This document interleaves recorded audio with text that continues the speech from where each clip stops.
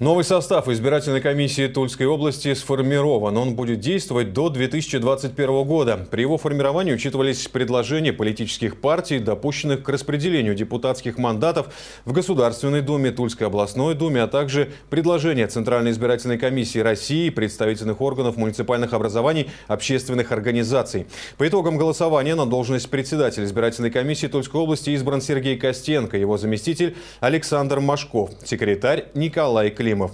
Все трое сохранили свои должности. Всего в составе комиссии 14 человек. Семь из них назначены губернатором Тульской области, семь Тульской областной думой. Каждый член комиссии получил бюллетень.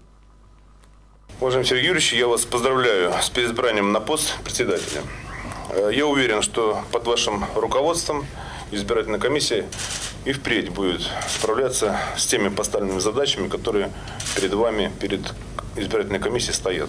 Сегодня я также приветствовать новых членов избиркома. Очень важно, что впервые в истории состав комиссии усилился представителями наших ведущих вузов.